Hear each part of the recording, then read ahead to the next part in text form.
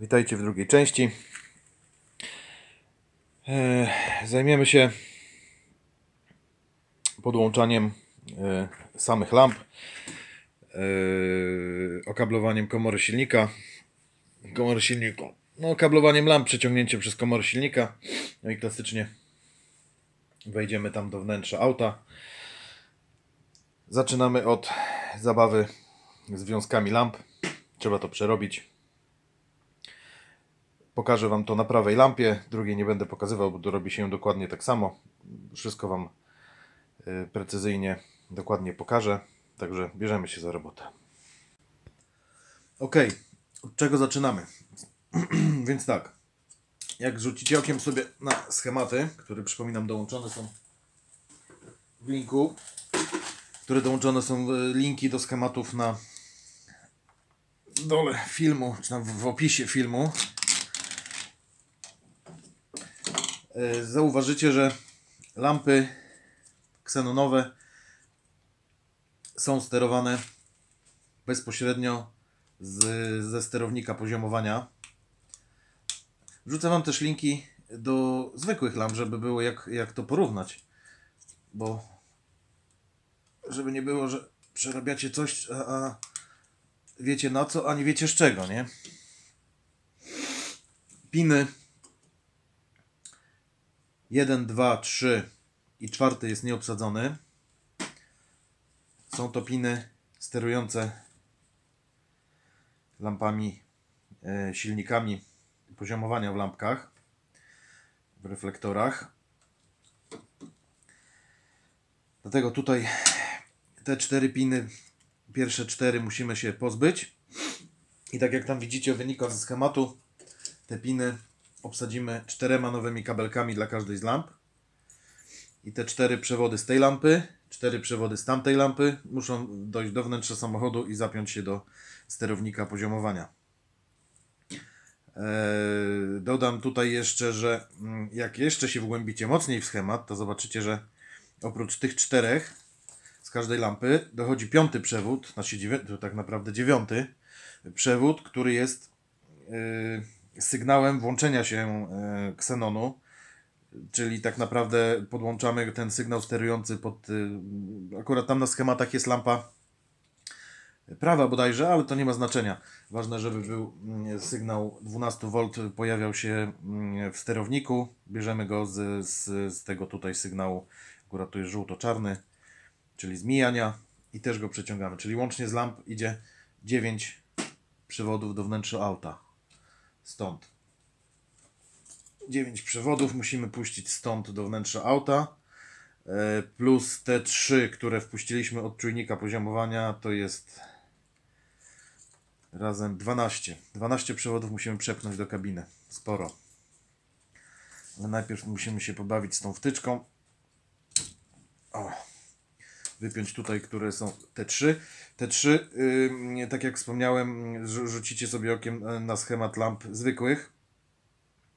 Te trzy przewody, które są e, tutaj teraz przeze mnie wypinane, one idą do pokrętła na desce, które robi yy, przy tej konfiguracji zwykłych lamp za poziomowanie ręczne. Czyli tutaj na tych pinach pracowały silniczki ręczne poziomowania w lampach zwykłych. No musimy się tego pozbyć. Te piny tutaj rozciąć. Ja to sobie tak zrobię. Te piny tutaj po prostu rozcinamy. I te końcówki wykorzystamy do podłączenia czterech plus jeden dodatkowy czterech e, przewodów, które idą z sterownika. Nie ma co się certolić, bierzemy się do roboty. Trzy wypinamy, czwarty jest zaślepiony gumką.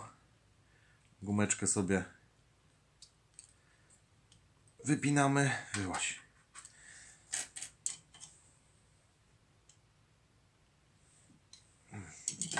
Nie, nie wepchnę.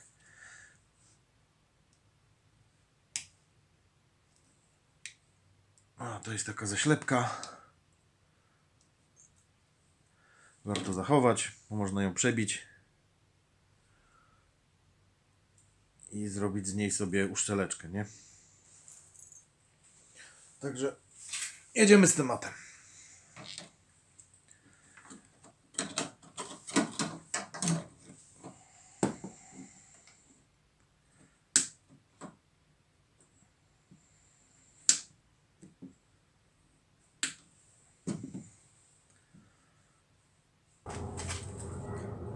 Mając wypięte te piny, co musimy się po prostu do nich dolutować. Tak? Czyli najpierw, żeby nam to sprytnie poszło. Raz, dwa, na razie trzy.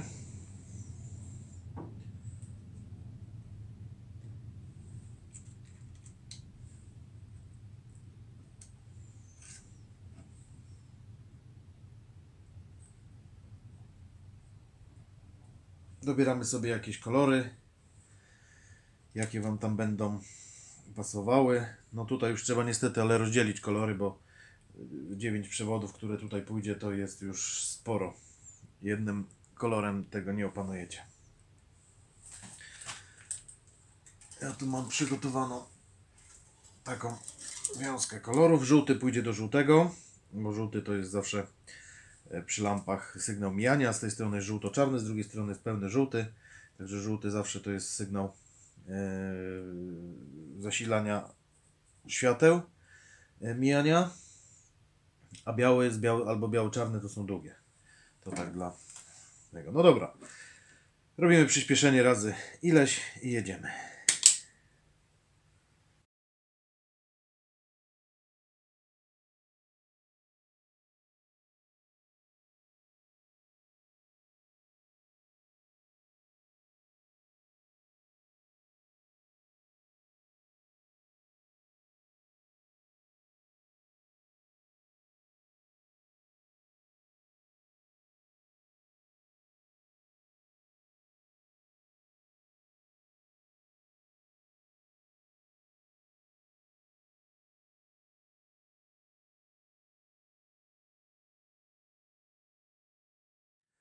Teraz tak.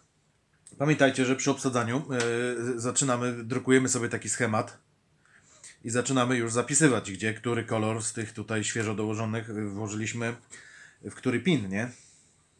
Ja sobie to po prostu obsadzę na razie jak leci, czyli wszystkie cztery we wtyczce. Mhm. Ori klik.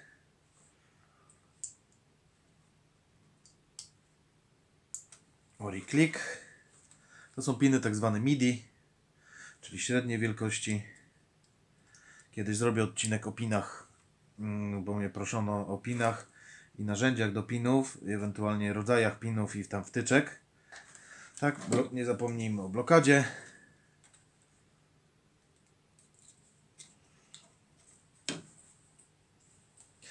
Tak.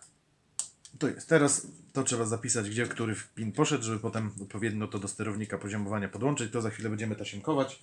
Ale słuchajcie, została jeszcze jedna rzecz. Żółty, nie? Czyli sygnał włączenia e, świateł. Jak tego nie macie, to sterownik będzie rzucał błąd, e, że jaki tam jest błąd? Ja to kiedyś testowałem, że e, są włączone światła, ale sterownik poziomowania nie ma sygnału świateł z lampy. Można by było to, to jak najbardziej podłączyć przy bordnecu. Nie, nie, nie ciągnąć tego na drugą stronę, ale nie chcę mi się przy bordnecu szukać, który to jest e, tam wtyczka, który to jest pin. Tam się szarpać z tymi wtyczkami, tam są krótkie kabelki. Tu pociągnę razem całą wiązką. Pójdzie razem z tymi. O. I to robimy po prostu w ten sposób, że tutaj sobie delikatnie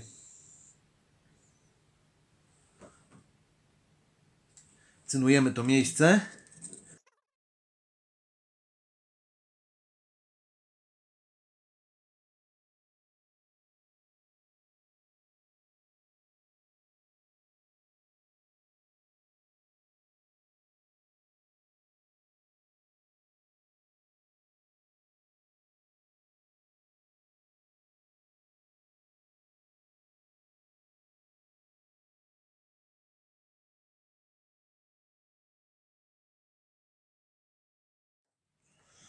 I sygnał mamy ukradziony z tego z zasilania mijania. I co? Teraz tu mamy ten peszelek, no i wszystko musimy tutaj w ten peszelek. Tamte ucięte, których nie widzicie tam głębiej, no tamte ucięte, no to co? No tutaj zostają, z nich zostanie zdjęte zasilanie, bo odczepimy e, zasilanie z pokrętła e, do ręcznej regulacji. I y, to pokrętło jest, jak spojrzycie sobie na schemat, zasilane z bezpiecznika bodajże numer, nie chcę kłamać, 5. Nie chcę mi się do schematu zaglądać i my to zasilanie odetniemy z tego włącznika e, z pokrętła i ono pójdzie to zasilanie na zasilanie sterownika poziomowania, bo tak jest, bo tak jest normalnie w oryginale, że zamiast zasilać e, te przewody tutaj e, i silniczki ręczne, to to zasilanie z tego bezpiecznika zasila sterownik, a sterownik pośrednio przez siebie zasila tutaj te silniki, które się poziomują. Tutaj dwa to są zasilania poziomowania do silnika 3, a jeden to jest sygnał, y, jak mocno jest wychylony ten silnik. Nie? Dlatego są cztery przewody. Dobra, to tasiemkujemy. Chowamy w peszel i już. Tam musimy tym peszlem wyjść z drugiej strony, to Wam zaraz pokażę. Ale na razie weźmy to, schowajmy. Dobrze, spójrzcie, peszelek mamy z powrotem założony. Tam ta wiązka z tyłu wychodzi, zaraz Wam pokażę. Teraz tutaj taki tip. Tu na końcu, żeby się nam nie rozpadło, nie rozpada zawsze ten peszelek ściskamy na samym końcu tasiemką. Nie? O, I to się teraz ładnie rusza.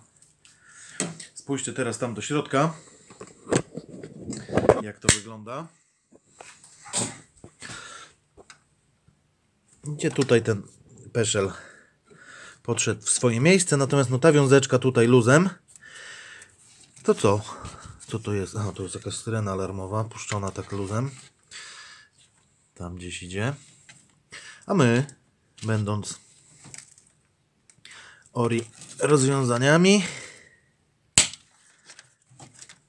tą całą wiąchę wpuścimy sobie tutaj, tak? Tu ją kładziemy w ten przepust kablowy, przepust w tor kablowy i tam kończymy ją przy grodzi. Drugą, mili Państwo, robimy dokładnie tak samo, przy czym będą to cztery przewody, tego żółtego już nie ciągniemy. Cztery i klasycznie, tak jak w moim filmie, tutaj Wam wrzucę link u góry, spójrzcie, yy, do montażu halogenów. Idziemy tam, tam, tam, tam, tam, tam, tam, tam i też się tutaj spotykamy. Tutaj jak jeszcze, jeżeli my, słuchajcie, to jest wiązeczka przedniego czujnika poziomowania. E, tutaj się odnalazła.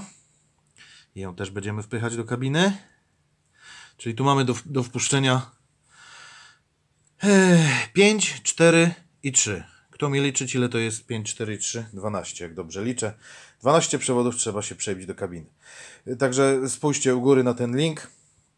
E, jak to przejść? No jestem dzisiaj sam, więc nie mam żadnego pomocnika, więc nie dam rady tego nagrać. Po prostu się przebiję, spotkamy się już w środku, wewnątrz auta. Jak będziemy to podłączać do sterownika, jak będziemy brać zasilania, to Wam tam wszystko pokażę. Jak widzicie, jesteśmy w samochodzie. Wiązki są przewleczone. Strasznie to wygląda, jak zwykle. Czyli mamy tak, lampę jedną, lampę drugą, e, czujnik przedni poziomowania, czujnik tylni poziomowania. Co nam brakuje? Słuchajcie, brakuje nam zasilania do, do, do tego modułu. No i brakuje nam kana. No kana klasycznie bierzemy związki mm, no albo stąd, albo to widzę jest tutaj mocno za to jest gateway mocno zapleciona. No tutaj trzeba będzie ciąć, żeby ją się do niej dostać. No potrzebujemy kan, magistrale komfortu czy napędu, nie pamiętam. To tam ze schematu wychodzi. No i potrzebujemy zasilanie. W oryginale zasilanie, słuchajcie, jest na tym włączniku.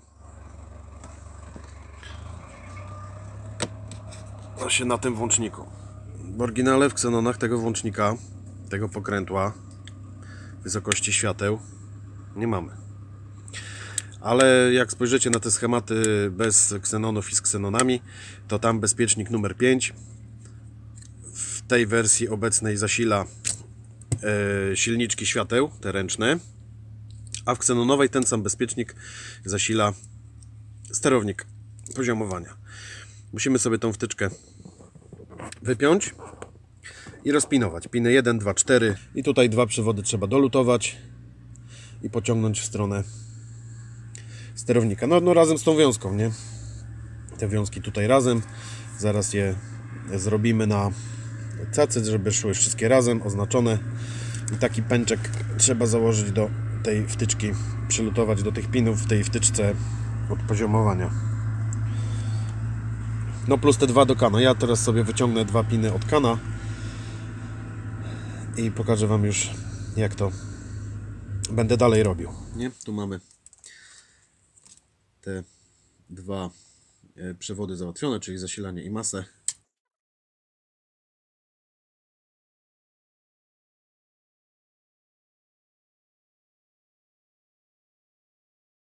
Spójrzcie, żeby e, śladu nie zostawić, że nie było ksenonów w oryginale, trzeba by ten wyłącznik, ten, ten regulator wymienić na taki bez tego kółeczka. Są takie, no i tak to kółeczko już w tej chwili nie będzie działać. Są takie włączniki z samą regulacją jasności deski, nie? Zapinamy. Teraz tak, co nam brakuje? Brakuje nam magistrali. To jest magistrala nie tak jak powiedziałem komfortu, tylko to jest magistrala zawsze do ksenonów y, kan y, napędowa. No to najbliższe miejsce, jedyne tak naprawdę tutaj, to jest tam, gdzie jest y, gateway. No muszę się dobrać do tej wiązki, ona jest tam mocno zaklejona. Nie lubię tego robić, no ale muszę się do niej dobrać.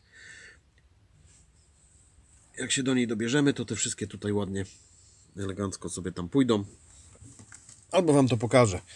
Jak tutorial, to tutorial. Słuchajcie, y, tutaj są dwa takie splecione przewody. Y, Czarno-brązowy, y, tfu, pomarańczowo-brązowy i pomarańczowo-czarny. I żebyście się nie pomylili, są to piny zawsze w Gatewayu 6 i 16. A tutaj taka para idzie To jest ta para, ale tu jest jeszcze druga czarna. O, gdzieś tu idzie.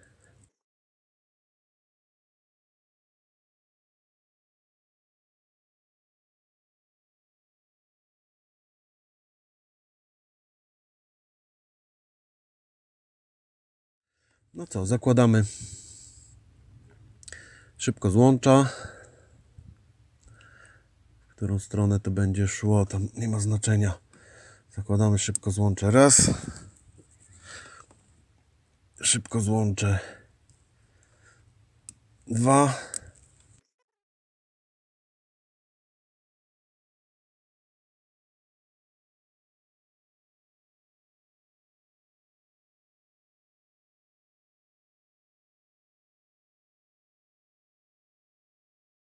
Tą wiązeczkę z powrotem zawijamy i te dwa przewody dołączymy do tej wiązki tutaj. No, teraz to już się zobaczymy, jak ja tutaj wszystko ułożę i zostanie nam taka wiązka. Po związaniu wiązek wygląda cały interes tak. Ale nie martwcie się, trzeba to zrobić. E, Dlatego wcześniej wspominałem, że e, te przewody, które idą od czujników, warto pozaznaczać. No zobaczcie, one to są dwie takie same wiązki kolorowo. Nie. I teraz byśmy nie wiedzieli, który jest przód, który jest tył. Sterownik by to przyjął. Jak najbardziej. On nie rozpoznaje, który jest przód, który jest tył. Yy, jemu tam gancegal, czy to będzie podłączone ten kanał, czy ten kanał. A dla działania będzie to całkowicie odwrotne. Także nie wolno to nic uciąć, tak żeby nie, nie pogubić tych zaznaczeń. Słuchajcie, sterownik mam tutaj. Sterownik gdzie siedzi? Sterownik, e, mili Państwo, siedzi tam. Za klimatronikiem, czy tam za klimatikiem. No i co? Trzeba się wziąć za przylutowanie tego, tego całego tu do tu. Co, bierzemy się za lutowanie. Załóżmy, że przewód sobie przymierzyliście. Ja zacznę od czerwonego, czyli naszego zasilania.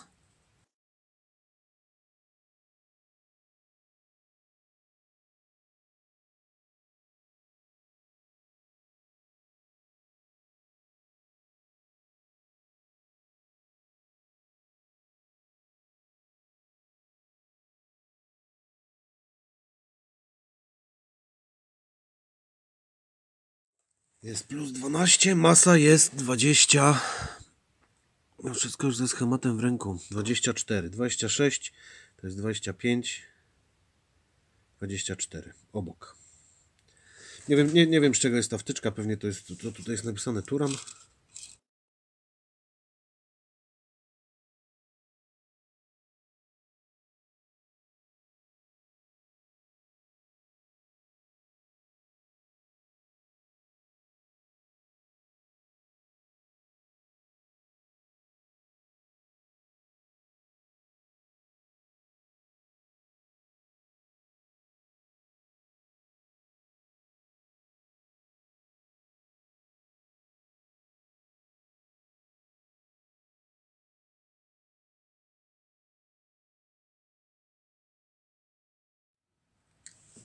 I mamy dwa. Tak sprawdzamy za każdym razem, czy one są w miarę równo, żeby nam się tutaj żadne górki i pętelki nie porobiły. No i jedziemy tak dalej. Słuchajcie, zbliżyliśmy się do końca. Tak ta wiązka wygląda teraz. Cała polutowana.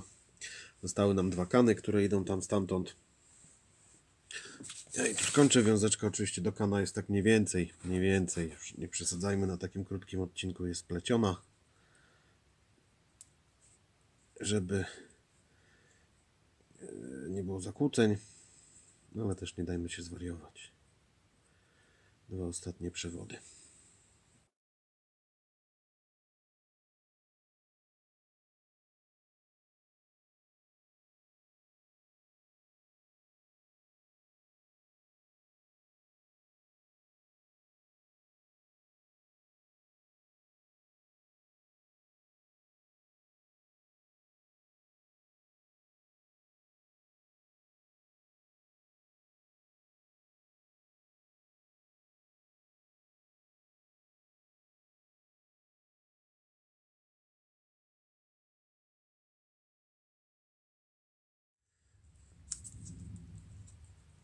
Nie będę jej na razie obwijał, bo nie wiadomo jeszcze co narobiłem, nie? Nigdy nic nie wiadomo. Ale żeby się już nie wyślizgiwała. Obudowa rachu ciachu. Obudowa jest takiego typu. Jak się otwiera i zamyka taką obudowę. Spójrzcie. Ciach. O, nie da się. Nie, nie. Tego typu wtyczki, które są mm, przy sterownikach właśnie poziomowania. Taka wtyczka jest przy nowym liczniku posiada taką zawleczkę. Uch, wcięło mi ją. Tu jest. Taką zawleczkę, która tutaj siedzi. O. Nie, to jest styczka tego typu z dźwignią. Tu jest ta zawleczka, nie wiem czy było widać. Taka zawleczka. Się zawleczka. Taka zasuwka, blokadka. Tu mamy. No dobra. Idę podłączyć akumulator.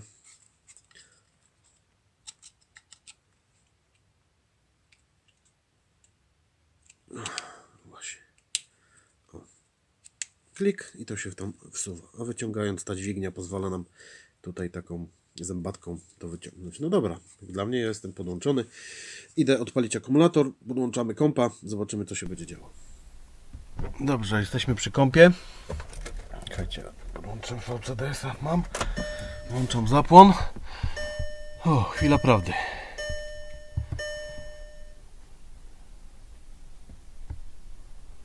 Sporadic Communication Error.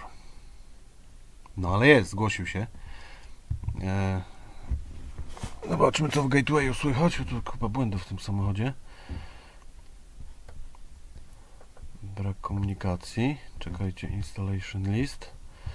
55 zaznaczamy. Zaz- Zaznaczamy, czy było? Czy już wcześniej to zrobiłem? Nie, no ma być zaznaczone, nie? 55. Brak komunikacji. Albo możliwe, że ja wcześniej włączałem.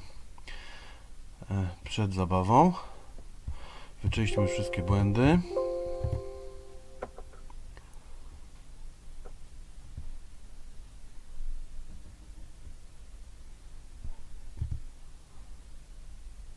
Tutaj będziemy mieli? Ważne, na- najważniejsze, żeby wiedziały, żeby były widoczne, a coś tutaj nie działa. Aha, słuchajcie, bo nie mam prawej lampy jeszcze podpiętej, bo tam nie mogę jej coś obsadzić. Czyli co mamy? Moduł nam się zgłosił.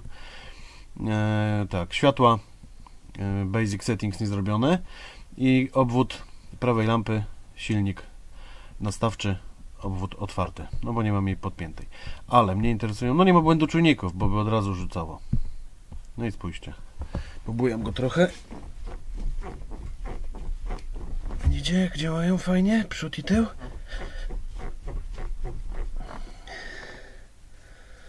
No. Pobujam tyłem samym. Nie wiem czy dam radę.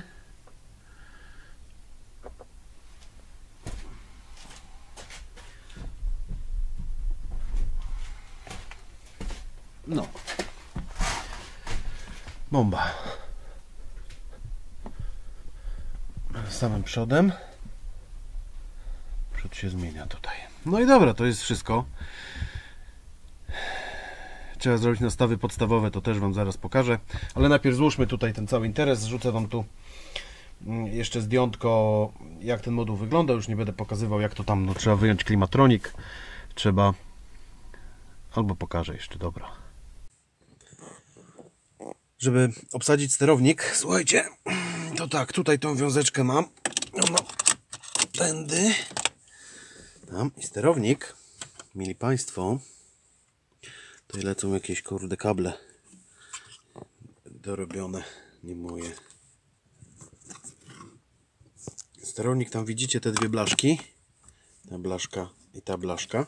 On na nich siedzi. W oryginale tam są te, te, te takie tak zwane nakrętki zaciskowe, czyli te blaszki z otworami. Ale tam potem jest masakra to dokręcać. Słuchajcie, nigdy tam tego nie stosuję. Lekki drut w takim razie mam, ale to nic. On tam sobie tylko leży. On sobie tak tam leży, patrzcie. Ma tu takie swoje miejsca, takie wyżłobienia, tam są te takie otworki. O, i on sobie tam leży. My go zaraz tam ściśniemy trytami. I tę muftyczkę zaczepiamy od razu. O. Przepraszam, ale tutaj ciemno jest, go no będziecie widzieć.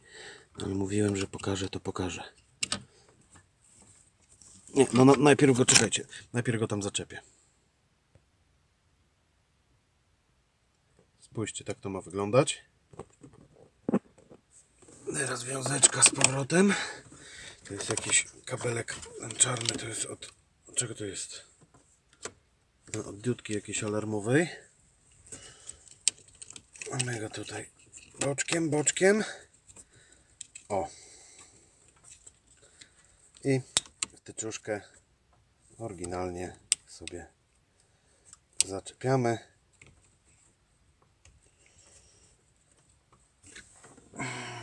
No, ona się zamknęła. Dziwka jedna. Czekajcie chwilę. Odpinamy i teraz ona jest tak ułożona, że pasuje tylko w tą stronę, tak? Tadam. I teraz słuchajcie, no trzeba by złożyć tutaj klimat, ten klimatik, te druty tam pochować tak jak były. Wiązeczki nie ma śladu, po niej tutaj jest kawałeczek jej. Ona sobie niech tu siedzi. Wyciągamy to co tutaj było. No już składamy, to już wiecie. Jak ktoś już podchodzi do ksenonów, raczej no to umie to rozebrać. Teraz co? Następny krok to jadę na stację diagnostyczną. Jak to złożę, ustawiam e, te lampy najpierw mechanicznie, a potem Wam pokażę, jak e, wykonać nastawy podstawowe, żeby system się yy, spoziomował do poziomu bazowego, od którego będzie już sobie regulował środek. Słuchajcie, dobra, lampy są ustawione, lampy są ustawione na stacji. Co my robimy? Wchodzimy w nastawy podstawowe. Sterownik poziomowania. Tu czyścimy te błędy. Tak, tu mamy komunikat, że nastawy podstawowe są niewykonane. Wchodzimy w nastawy podstawowe, robimy wyrównaj. Ja tutaj do środka siadam, żeby, bo to się robi z kierowcą w środku, robimy cyk i pozycja nauczona. Tak? Słuchajcie, no to mamy temat zamknięty. Pozdrawiam Was ciepło. Trzymajcie się. Hejka.